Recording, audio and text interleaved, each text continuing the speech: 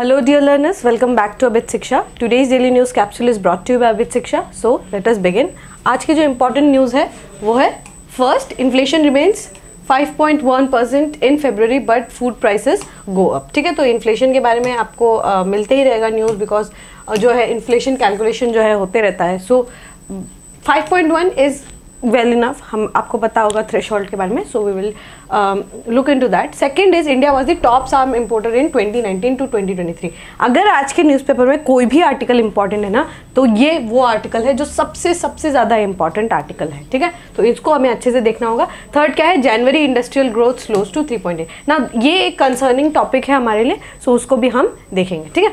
तो एक एक करके सारे जो न्यूज़ आर्टिकल्स हैं, उनको कवर करते हैं। फ़र्स्ट है inflation remains at 5.1 in February but food prices go up ठीक है? तो इन्फ्लेशन जो है, वो जो आपको पता होगा इन्फ्लेशन हमें C P I that is consumer price index जो कंबाइंड होता है, उस पर भी calculate the inflation right so वो जो है, वो 5.1 पे ही है बट जो फ़ूड प्राइसेस है ना, खाने का जो फ़ूड प्राइसेस है, वो वो इंक्रीज हुआ है, ठीक है? Food prices has increase has risen ठीक है? सो वो थोड़ा सा जो है हमें देखने को मिलेगा कि सडनली जो है गार्लिक का दाम बहुत ज़्यादा हो गया था बीच में अभी। सो so, ये किस किस लिए हो रहा है? क्या क्या शौक है? क्या डिमांड्स है? क्या डिमांड साइड शौक है? सप्लाई साइड शौक है? सो so, वो थोड़ा सा चैलेंजिंग हो जाता है। क्योंकि फ़ूड जो है फ़ूड जो है क्योंकि we consume it on a daily basis right हम रोज मार्केट जाते हैं and we consume it so वो अगर उसमें हमें थोड़ा भी डिस्टॉर्शन या फिर आ, कुछ ऊपर नीचे अगर हमें देखने को मिले then it directly affects the consumer right so उसमें हमें थोड़ा ज़्यादा फोकस करना चाहिए. इट इज़ ऑल्सो कंसर्निंग ठीक है? थोड़ा सा कंसर्निंग हो जाता है। ठीक है? So India's retail inflation remain virtually जो रिटेल इन्फ्लेशन है ना, वो वर्चुअली अनचेंज ही रहा है। कितना था? पहले 5.09 परसेंट था, अब 5.1 percent in February even as food prices by consumer research from 8.3 percent in January to 8.66 देखिए जनवरी से जो है, आपको देखने को मिलेगा कि फ़ूड प्राइसेस जो है, उसमें बढ़ोतरी, ठीक है? पॉइंट थ्री परसेंट का जो है ऑलमोस्ट आपको बढ़ोतरी देखने को मिलेगा। Primarily by vegetables which rode है seven month high pace of thirty percent thirty percent के हाई पेज से जो है आपका फ़ूड का जो है, जो वेजिटेबल्स है, उनका दाम थर्टी परसेंट से आगे बढ़ते हुए जा रहा है, ठीक है? सो so, ये आपको देखिए inflation measured by consumer food price index जो है escalated from 9 percent in January to 9.2 percent in for urban residents ठीक है? मीन वाइल अर्बन जो रेसिडेंट्स है 9.2 परसेंट जो है फ़ूड इन्फ्लेशन उनको देखने को मिला है। और रूरल एरिया में भी ज़्यादा कम नहीं है। पहले जो है फेब्रवरी में जो है 8.2 परसेंट था और जनवरी में जो है 7.9 परसेंट तो आपको जो है राइस देखने को मिलेगा फ़ूड प्राइसेस में both in rural areas also in urban areas ठीक है? Previous month overall retail inflation stayed higher in rural India also तो ये कंसर्निंग है. देखिए हम क्या सोचते हैं जनरली जो फ़ूड आता है वो रूरल इंडिया से आता है राइट अर्बन इंडिया में खेती बाड़ी नहीं होता है राइट सो so, अगर रूरल इंडिया में ही इतना ज़्यादा फ़ूड प्राइसेस इंक्रीज है तो अर्बन इंडिया में ऑब्वियसली जो है फ़ूड का जो है प्राइसेस आपको ज़्यादातर, ज़्यादा देखने को मिलेगा, ठीक है? Okay most economics expect inflation to stay from 5.1 to 5.2 percent range in March as well which would lift average inflation in the quarter over five percent average ठीक है? सो आरबीआई ने ये प्रोजेक्ट किया कि फाइव परसेंट तक जो है रहेगा इन्फ्लेशन इन इंडिया ठीक है? बट ये जो है आ, ये तो हमने डिस्कस कर लिया about food inflation so inflation in itself हमने कैटेगरी को बहुत बार अच्छे से डिस्कस किया है. सो so, इन्फ्लेशन जो है आपको पता होगा कंज्यूमर प्राइस इंडेक्स जो है उसके बेसिस पे होता है. मॉनिटरी पॉलिसी कमिटी अगर इन्फ्लेशन जो है उसका threshold four plus minus two percent है। यस और no four plus minus two से अगर वो कंजिक्यूटिवली जो है, तीन क्वार्टर तक जो है, अगर रहा इन्फ्लेशन ये इस थ्रेश होल्ड से बाहर, ठीक है? इस four plus minus two percent से जो है, अगर बाहर रहा तो क्या है? मॉनिटरी पॉलिसी कमेटी को ये आंसर देना होगा कि क्यों इतना ज़्यादा इन्फ्लेशन था। ठीक है? ये आपको समझ आ गया। फोर प्लस माइनस टू जो है, ये थ्रेश है। ठीक है? मॉनिटरी पॉलिसी कमिटी जो इसमें छः मेंबर्स का बॉडी होता है। Three from RBI and three for the from the government and it is binding the the advice given by monetary policy committee is binding upon RBI and government binding होता है। ठीक है? ये आपको मानना ही पड़ेगा। ठीक है? सो ये एक इंपॉर्टेंट टॉपिक है। इन्फ्लेशन के ऊपर आपको एवरी ईयर हर साल मतलब अगर आप इकोनॉमिक्स पढ़ रहे हैं और बेसिक अगर आपको जानना हो तो आपको इसी इन्हीं टॉपिक से करना होगा और क्वेश्चंस भी इन्हीं टॉपिक से ही आते हैं ठीक है? इन्फ्लेशन वाला टॉपिक हो गया जीडीपी वाला टॉपिक हो गया। सो so, ये वाले टॉपिक से आपको सबसे ज़्यादा क्वेश्चंस देखने को मिलेंगे ठीक है? इसीलिए हमारे लिए इंपॉर्टेंट है इस टॉपिक को अच्छे से करते हुए जाना। अब भले ही आपको ये डेटा ना याद रहे बट आपको ये न, ये याद रखना है कि स्टैटिक से आपको अपना इकोनॉमिक्स का जो स्टैटिक का टॉपिक है उसमें इन्फ्लेशन को आपको अच्छे तरीके से करना है। कितने टाइप के इन्फ्लेशन होता है हाइपर इन्फ्लेशन गैलोपिंग इन्फ्लेशन क्या होता है ठीक है? So how we can control inflation ये सब जो है आपको आना होगा ऑन योर फिंगर टिप्स ठीक है? बहुत ज़्यादा इंपॉर्टेंट है ये वाला टॉपिक ठीक है? आई होप आपको ये टॉपिक जो है क्लियर हो गया होगा। Next topic is India was the top arm importer in 2019 to 2023 ठीक है? देखिए आर्म्स इंपोर्ट करने में पहले क्या था? हमसे पहले मतलब ट्वेंटी, ये जो चार साल का विंडो है ना, इससे पहले 2018 तक सऊदी अरेब अरेबिया जो था ना सऊदी अरब जो कंट्री है था, उन्हों, उन, वो जो थे, वो सबसे टॉप इम्पोर्ट इम्पोर्टर थे, ठीक है? इम्पोर्ट मतलब मंगाना कहीं से। बट उसके बाद 2019 से 2023 तक क्या हुआ? सऊदी अरेबिया से को हटाकर इंडिया अब क्या बन गया है? टॉप आर्म्स इम्पोर्टर बन गया ऑफ़ दी वर्ल्ड ठीक है? तो हम सबसे ज़्यादा आर्म इम्यूनेशन जो है वो इम्पोर्ट करते हैं ठीक है?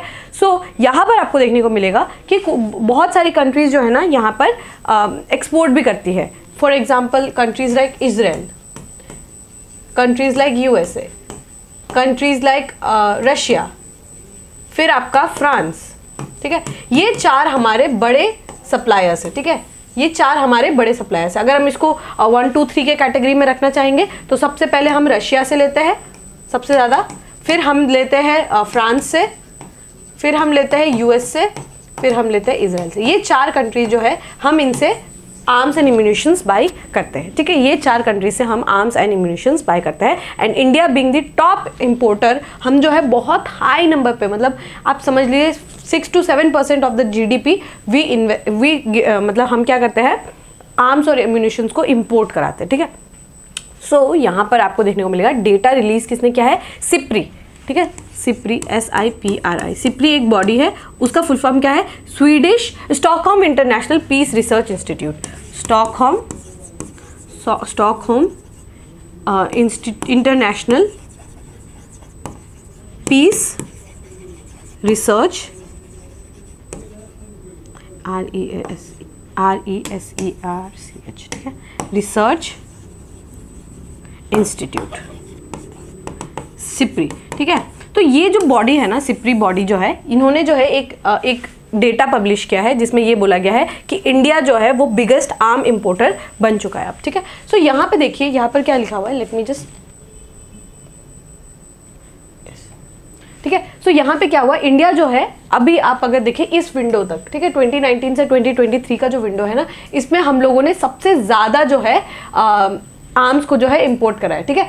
और आ, बस एक इंटरेस्टिंग चीज़ यहाँ पर क्या देखने को मिलेगा कि हमने यूरोपियन कंट्रीज़ से ना, हमने बहुत ज़्यादा आर्म्स मतलब मंगाए बहुत आपको हैरानी होगी जानकर कि रशिया के बाद जो है, हम फ्रांस से सबसे ज़्यादा जो है आर्म्स एंड इम्यूनिशंस जो है वो मंगाते हैं। ठीक है रशिया के बाद हम आ, आ, फ्रांस से हम बहुत ज़्यादा आर्म्स एंड इम्यूनिशंस जो है उसको हम मंगाते हैं। ठीक है? सो 94 परसेंट इंक्रीज हुआ है यूरोपियन कंट्री से। तो आपको ये बात जानकर एक और चीज़ जो है जानकर हैरानी होगी। Although Russia remain India's main arm supplier अभी भी um, रशिया जो है अभी भी जो है हमारा मेन जो है आर्म्स का सप्लायर है। बट फिर भी आ, मतलब 36 परसेंट जितना भी हम इम्पोर्ट करते हैं ना आर्म्स उसमें से 36 परसेंट जो है हम रशिया से इम्पोर्ट करते हैं। बट लेकिन ये क्या हुआ कि 1960 के बाद से ये पहली बार हुआ है कि हम जो है less than half of India's arm जो इम्पोर्ट करते हैं ना हम वो रशिया से करते हैं। पहले ये मतलब 2018, 2017, 2016 के समय क्या होता था कि हम जो है रशिया से more than 50 percent fifty percent से भी ज़्यादा हम क्या करते थे आर्म्स को खरीदते थे from Russia but now but now अब हम क्या देख रहे हैं कि यहाँ पर रशिया से जो है हमारे इम्पोर्ट्स कम होते जा रहे हैं और हम जो है अपना पैलेट को हम डाइवर्सिफाई करते हुए जा रहे हैं। ठीक है? हम अब दूसरे कंट्रीज़ के साथ जो है इंगेज करना चाह रहे हैं।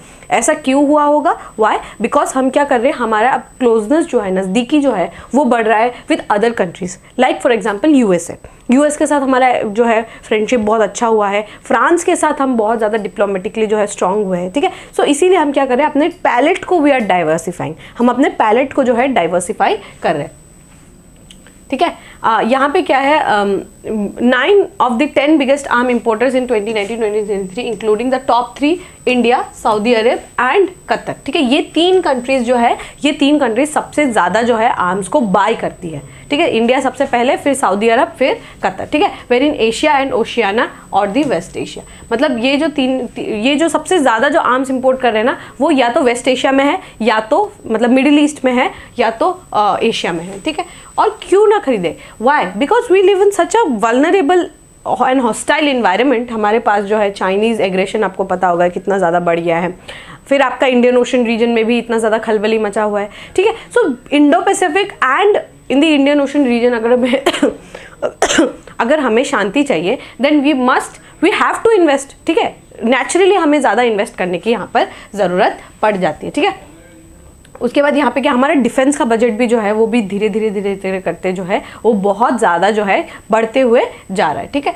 सो so, यहाँ पर अगर देखें एक बात सुन जानकर और भी हैरानी होगी कि जो है पाकिस्तान का इम्पोर्ट भी ना है it is the fifth largest arm importer Pakistan भी जो है वो फिफ्थ लार्जेस्ट आर्म इम्पोर्टर होगा और आपको सोच के ज़रा भी हैरानी नहीं होगी कि कौन सी कंट्री से वो इम्पोर्ट कराता होगा? ऑब्वियसली चाइना से वो इम्पोर्ट कराता होगा ठीक है? चाइना सप्लाइंग जो है 82 percent of its arms to Pakistan. 82 percent of जितना भी आर्म्स है ना वो वो लोग चाइना से खरीदते हैं। ठीक है?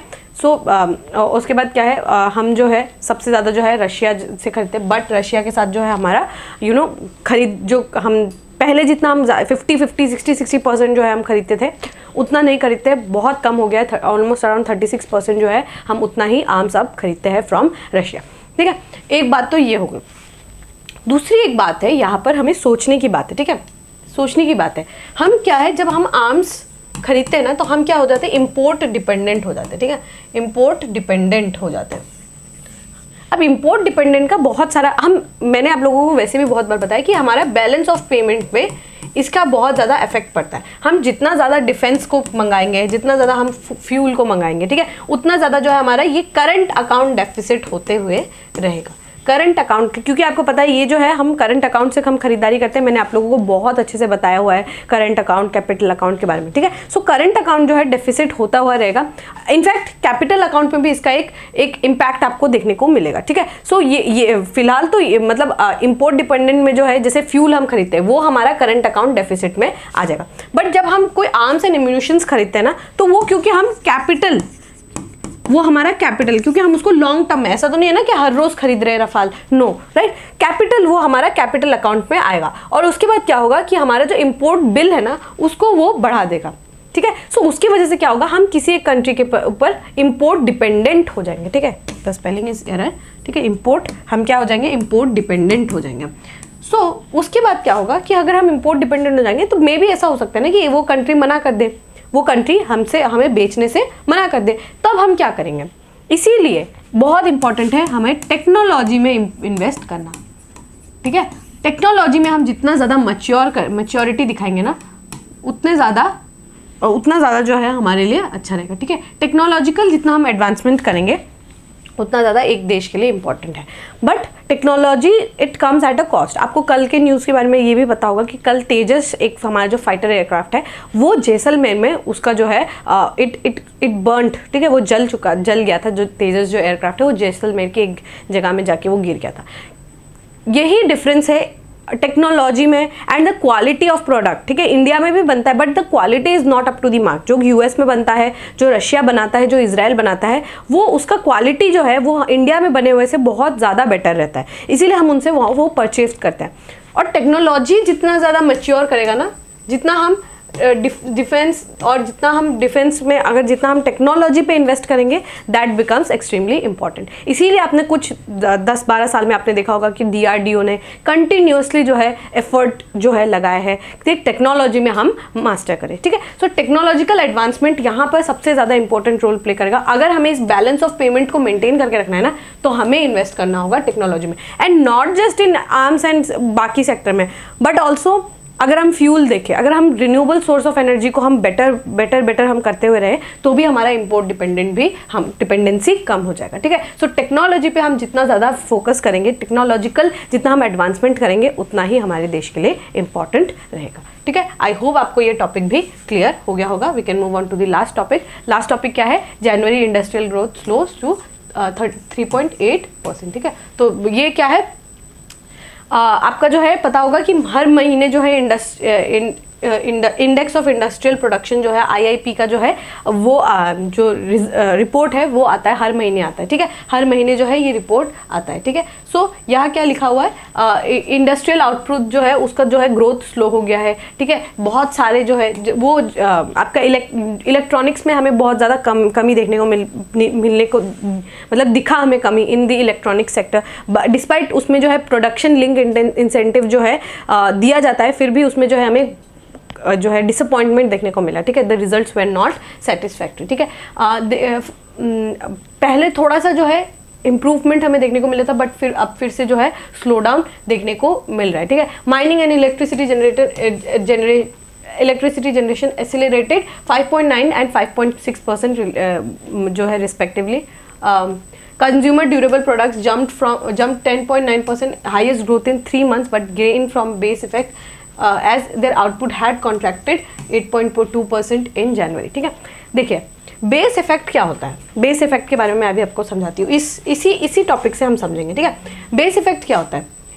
लेट्स uh, से ये क्या है? आपका एक ग्राफ है ठीक है? लेट्स से ग्राफ है। अभी कोविड के समय क्या हुआ? कि minus let's say minus five percent जो है माइनस फाइव परसेंट जो है कोविड के समय जो है, हमारा जीडीपी जो है, वो इतना हो गया था, कम हो गया था, हमारा ग्रोथ जो है, कम हो गया था।